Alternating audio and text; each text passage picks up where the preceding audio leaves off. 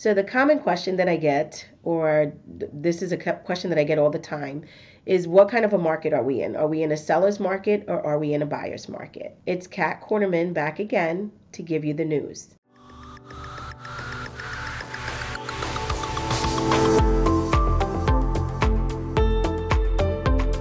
Well, I want to say that in today's market, we're actually in both a buyer and seller's market.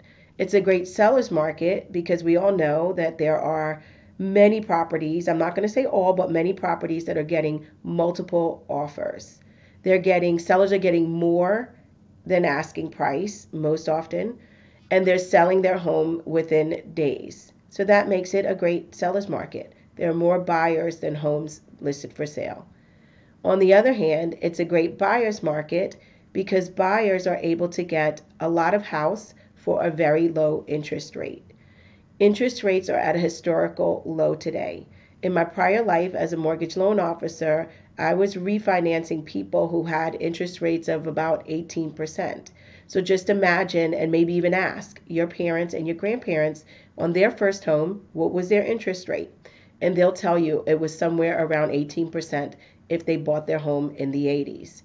So I look at it that they were buying homes back then as if they were charging it on a credit card because we all know our credit card rates are around 18% today.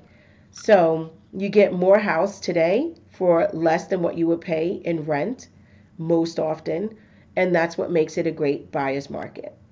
So if you have any other questions or you want to talk about your personal situation, whether it's a great time to buy or sell, make sure you reach out to me. You know that you can reach me via text, email, or phone, whichever is most convenient for you, and we'll have a great conversation.